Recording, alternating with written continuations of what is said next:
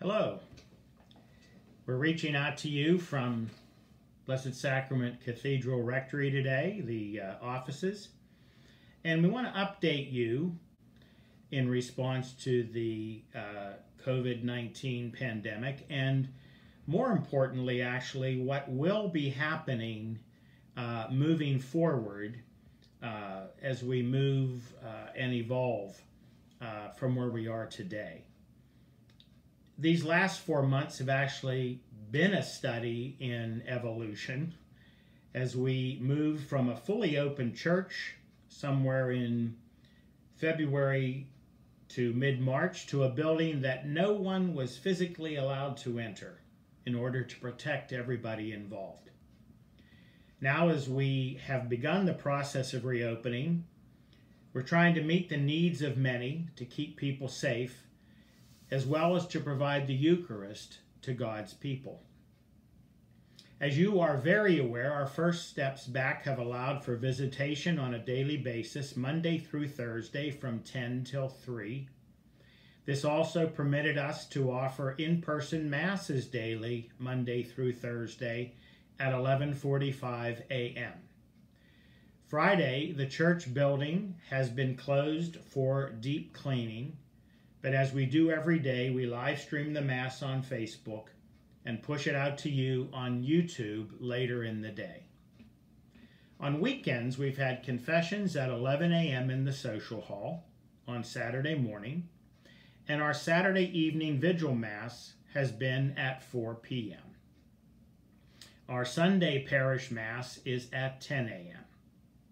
Moreover, going forward, this Mass will be live streamed by the diocese and placed on our diocesan and parish Facebook page as well. So far, this Mass schedule has accommodated anyone who has wanted to attend Mass in person. I would like to now give you an update as to what will happen over the summer and going into the fall given that the summer months are traditionally our lowest attendance numbers of the year. Our plans are to keep the current weekend schedule that I just listed for you until August 1st, 2020. That would be confession Saturday morning at 11 a.m., Saturday Vigil Mass at 4 p.m., and Sunday Mass live streamed with the bishop at 10 a.m. Now, on August 1st, barring any changes which might be required by the state or federal governments related to the COVID 19 pandemic, and with the permission of the bishop, we will revise our weekend Mass schedule, which we will plan to maintain into the fall and for the foreseeable future. I'd ask you to pay very close attention to this revision. Confessions will remain Saturday at 11 a.m. in the parish social hall. The Saturday evening vigil mass will move to 4:30 p.m.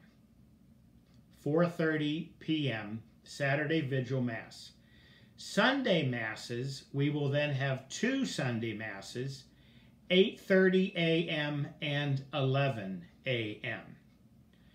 These new times will, as I said, begin August 1st this summer. This revised schedule was determined after consultation with our Cathedral Parish Council, and our parish staff. The schedule takes into account a number of concerns that needed addressed. Our ability to accommodate all those who wish to attend a Sunday Mass, our ability to clean the church between all Sunday Masses, and our need to allow sufficient time for Sunday morning faith formation to occur between the two Sunday Masses. The Council and staff discussed numerous weekend Mass time options, as well as the multiple parallel but contending interests that are present. The revised times listed above that I mentioned to you are the ones that check most, if not all, of those boxes. Let me say if there is a huge surge in attendance for our weekend masses before August 1st, we will consider moving the Sunday Mass schedule up to a, an earlier date. Additionally, in working with Mr. Joseph Rice, who is the principal at Aquinas Academy, we realize that we will not be able to have nearly as many large all-school masses throughout the school year due to space limitations in the cathedral building related to the COVID-19 pandemic. So as not to diminish the opportunity for our, our, Aquinas school children to attend Mass on a regular basis, we are going to keep our daily Mass time Monday through Friday at 11.45 a.m. This change will align more closely with the school's lunch schedule and enable the children to attend Mass and yet still eat lunch at a reasonable time during the school day.